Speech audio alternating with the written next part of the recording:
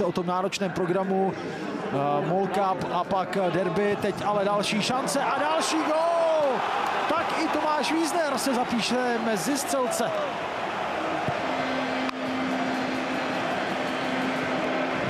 No, už jsme dávno překročili hranici nejbohatšího zájemného zápasu, co se týče gólů.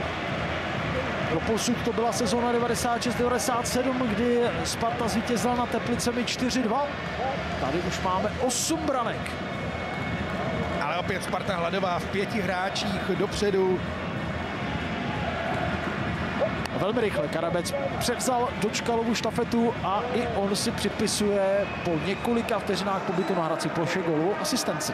A pokud se nepletu, vůbec první gol v kariéře pro Wiesnera v nejvyšší soutěži